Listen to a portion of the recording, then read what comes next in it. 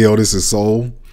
And Leo, you're up next. This is your three month overview uh, for 2020 January, February, and March. All right, Leo. Energies are for Leo Sun, Moon, and Leo Rising sign. So this is my gift to you. You know, I always try to uh, throw in something extra um, for you guys before the end of the year. Now, I normally do the uh, yearly forecast, but the problem is is that once those forecasts go up, people forget about them. They don't remember what you know um, the messages were.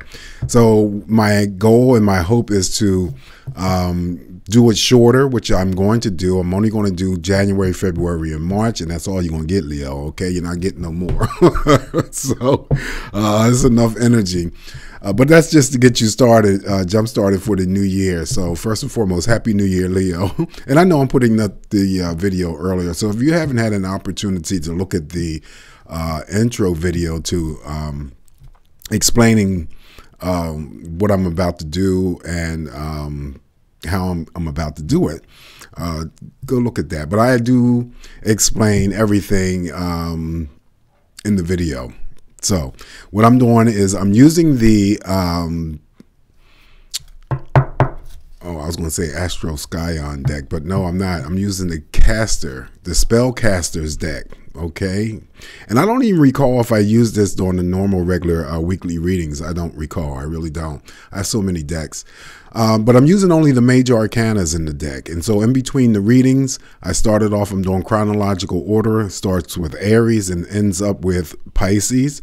So, Leo, you are the um, fifth sign for me that I'm about to read for. I just did Cancer. And so, um, just to show you, um, the cards are all in the upright position.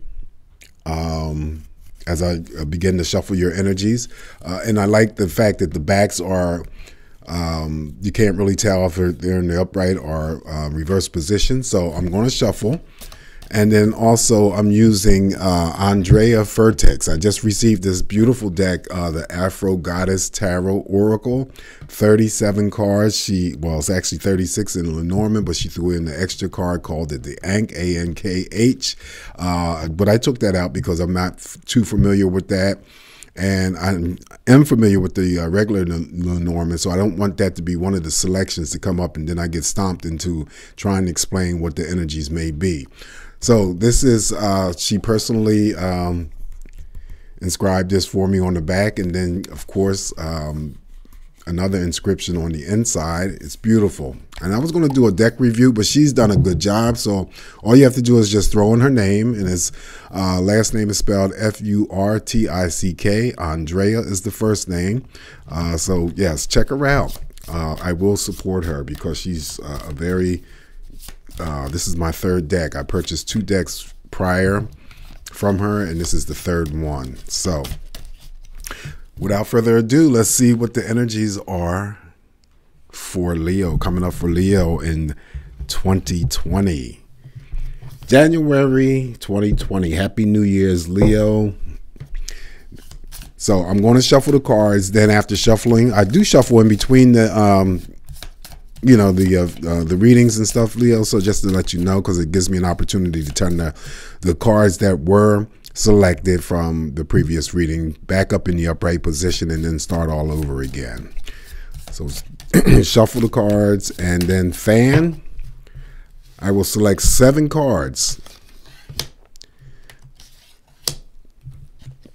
and then I will turn those cards in the uh, reverse position, put them back in the deck, and reshuffle again, and then select three cards from after shuffling. And the reason why I'm using seven cards, Leo, is because of the fact that it's only three months worth of energies. It's uh, 21 major arcanas, so seven times three is 21, right? So that's how I came up with that. uh, no big deal turned them around, and now I'm putting them back into the deck and shuffling once more. I'm using five of uh, Andrea's uh, Oracle uh, Lenormands to complement your readings. Those are just additional uh, energies that may play out in any given month, or they may play out in terms of energies in all three months. So, but this is why I'm giving you more information so that you can be able to work with and be able to also distinguish um, where to put the place the energies. You know, like in January, February, March, or all three. All right, so let's select the three cards to see what is coming up for Leo in uh, 2020. January, February, March. Okay, shuffle this deck right quick.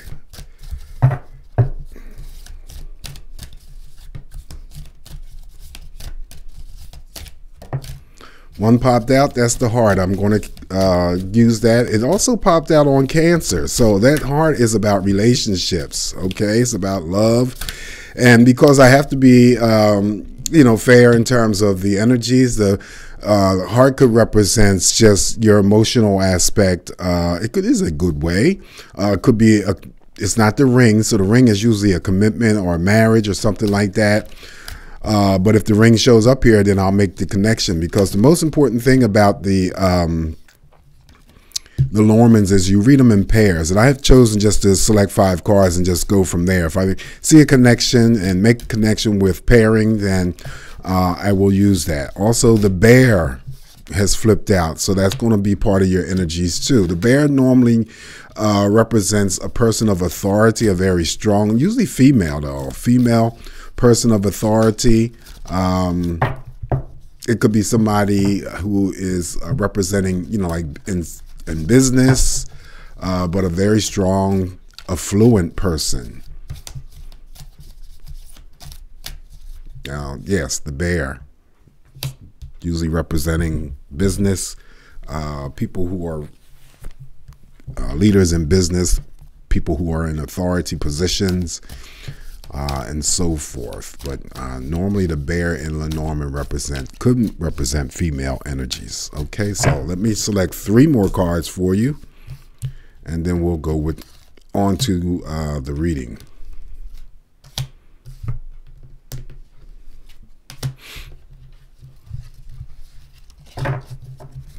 Now, just because the ring, well, we don't know if the ring is going to be here or yet, just yet, uh, Leo. Keep in mind that this heart is about relationships, okay? Emotional um, feelings. It could be, it's definitely love. And it also could uh, denote um, it precedes the bear, so that bear would represent a actual uh, person.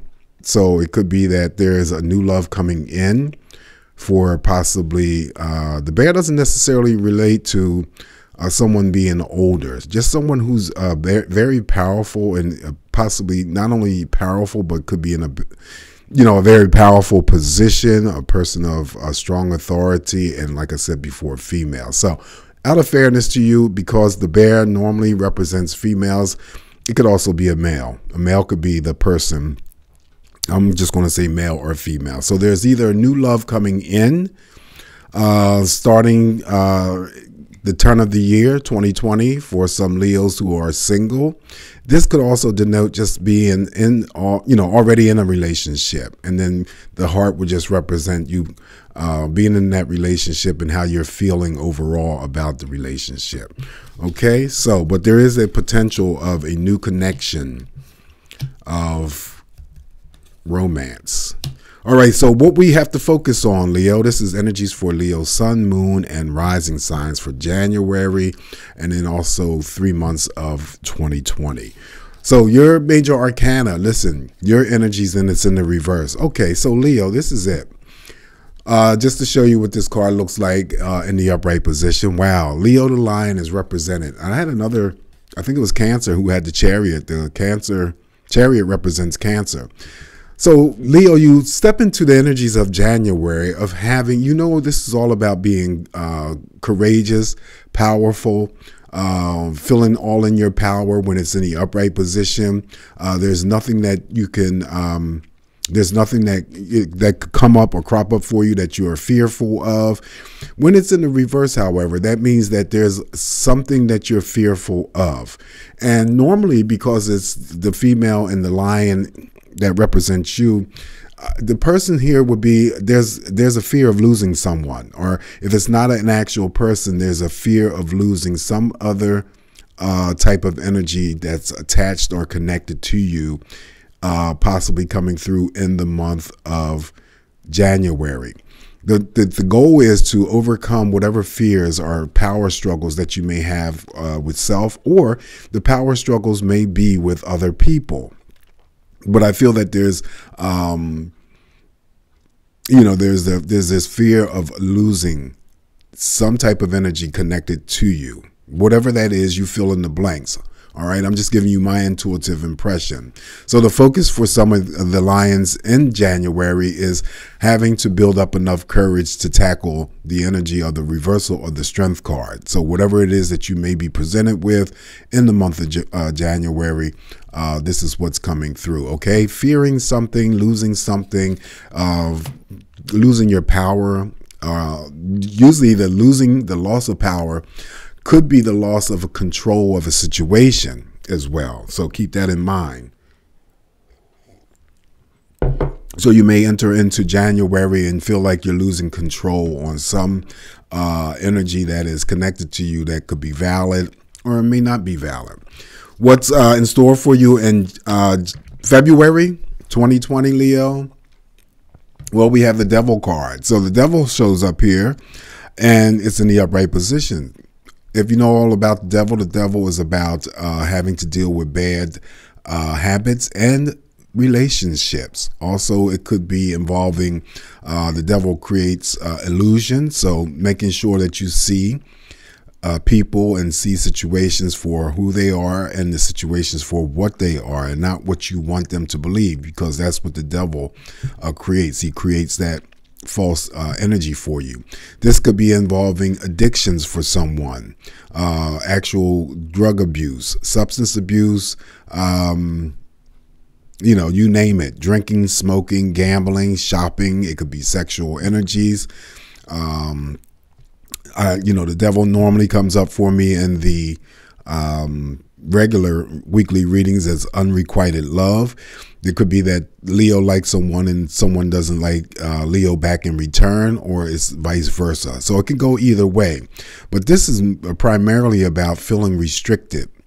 Something restricting you, something you feeling bound to. It could be a situation, person, or an event. So we have to discover what that is as we move into the month of February, which is Valentine's month. So something uh, feeling chained and you can see the two characters here chained and uh, bound to the devil, and uh, we have to address some sort of um, energy that is not good for us, or if it is something that is going on with uh, people who are you know that you are connected to. That could be the devil's energy.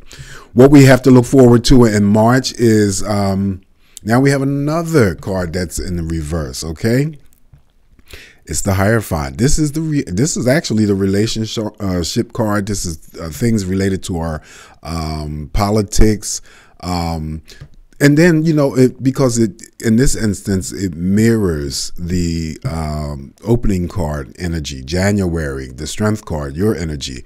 This is you know losing faith and hope in a situation. That's when it's in the reverse. So, but when it's in the upright, it's always about maintaining that hope and keeping the faith.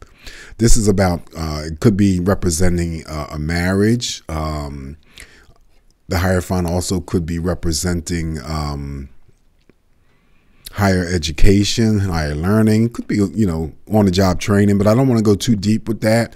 But I feel that the uh, bases are, you know, the, the most important thing for me to say when it shows up in the reverse, that there is an aspect of your energy to maintain or at least try to hold on to something that you believe in uh, and have faith that things are going to be uh, turning out the way that you want them to, uh, to be. It may not be. Um, so readily in, in the month of March, but you have to hold on to that. The the the priest or not the priests. the hierophant comes in as a priest, so it's about that spiritual and religious uh, stuff. If you are spiritual and religious, and then things aren't going the way that you want them to go, always, always, always keep that faith and that hope alive. Uh, it's nothing that's ever um, set in stone or you know uh, finalizing anything. This comes across as the relationship card. Uh, so, you know, not only is it um, in the upright position about someone possibly getting married in front of a priest, it also could be uh, that's when it's in the upright. Someone is having issues. Ironically, it follows that devil card where I said that some Leos may have to be dealing with the aspects of uh, bad habits um, that apply to themselves or it applies to others. But the others, if it does apply to others, it's impacting or affecting your relationship and moving forward. Okay, so that is your majors showing up here. And I forgot to mention the devil represents the earth energies Taurus, Capricorn, Virgo, male or female. So I already talked about the heart. It's still, you know, part of the energies. It may be all of these things connected to January, February, and or March. So following the bear, we have, well, you receive a gift, the bouquet. This could be actually, of you know, receiving flowers. The bouquet is one of the most positive cards in the Lenormand deck, and there's a gift coming. Now, a gift could be an actual, like I said before, a, a you know, flowers. Now, uh, think about it. February, um, we're covering February, so it could be that someone receives flowers for Valentine's Day or whatnot. This is a card of beauty, and it's also a card of those visitations to you know beauty shops, parlors, um, someone possibly owning a hair salon, beauty salon. It could be a spa, a health spa, uh, but someone um, receives a gift. It mirrors um, the heart. So if I wanted to take this uh, deeper as a gift, this could be actually a heart transplant. Someone receives a heart transplant, and then what's in, in the middle is a woman, or the it could be male or female. I'm sorry, uh, and this is the this is the bear. So this is how I'm seeing it. Uh, but if it's not those things that I said, there's still the potential of receiving uh, some type of gift, uh, being a receptor of a gift.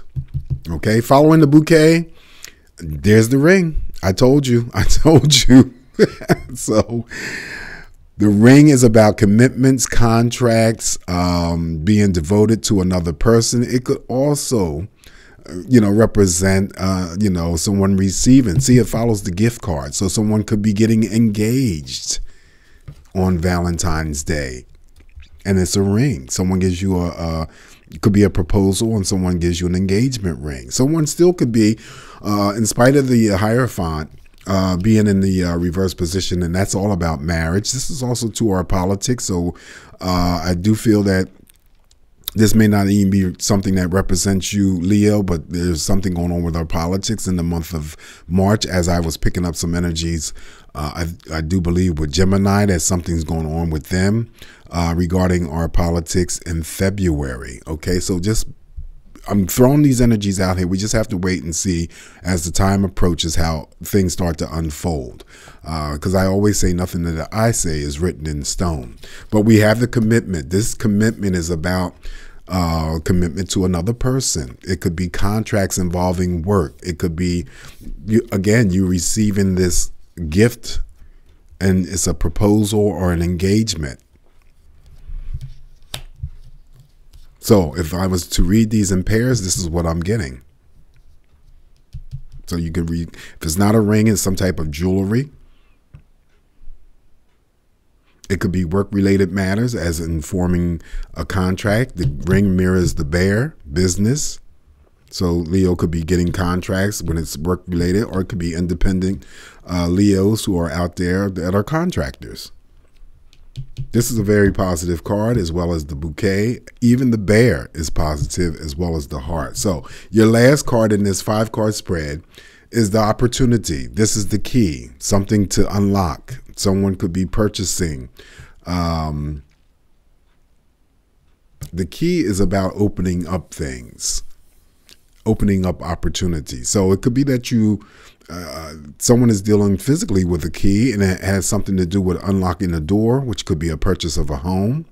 It could be unlocking um, a key necessary to unlock the jewelry box, uh, the key to unlock the business if you're running a business and it's, you know, a hair salon, beauty salon, health spa, whatever it could be.